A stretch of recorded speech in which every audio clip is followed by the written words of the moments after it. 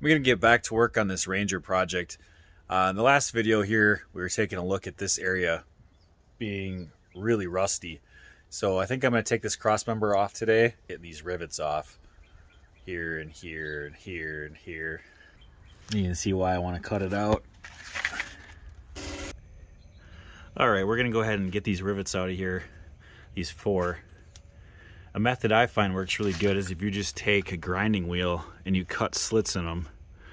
You can make, if you can get to both directions, this way and this way. In that case, I would do like a number sign or like a tic-tac-toe board across it. And it's real easy to shear off the face of that once you do that. But in this case, on these two, I can't do a tic-tac-toe board, so I'm just gonna do, you know, vertical now here I might be able to do some more, but just makes it easier to take a smaller piece of the pie out of the rivet with your with your gun.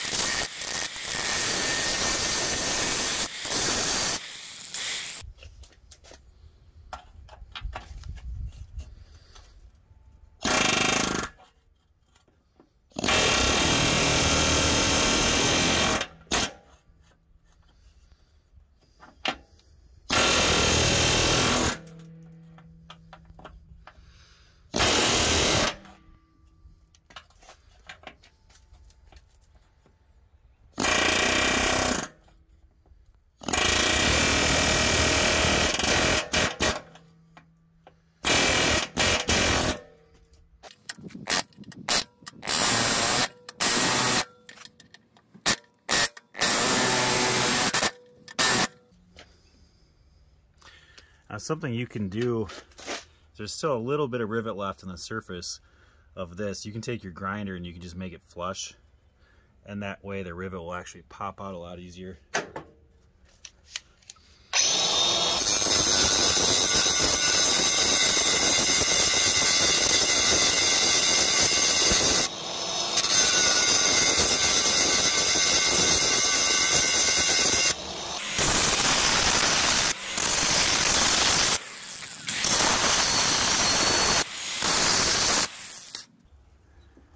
Next we'll take our punch and we'll just punch the rivet straight out.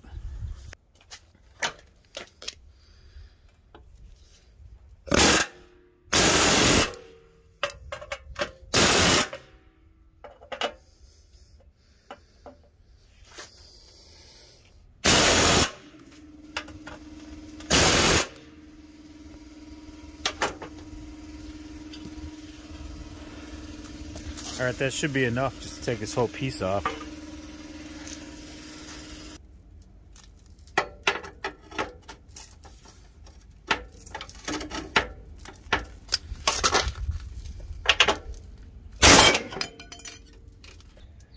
So as I've just used the air hammer just to try to knock these rivets out, you can see just the, what the vibrations have done to the frame. You know, it didn't look nearly that bad before, and the more I do it, just the vibrations make it just fall completely apart, chip out. So I'm glad I'm fixing this. And not just leaving it and running it. Because I mean, if an air hammer will do that to it, just from pounding on rivets, you know it's pretty bad. I'll show you guys one more time why we're doing this. Just completely rotted out. So probably take this spring hanger off at some point. But for now, I'm just gonna do this bottom lip, probably from here to here. And I'll weld in some eighth inch plate probably. That looks like what that used to be. Here it's like a 16th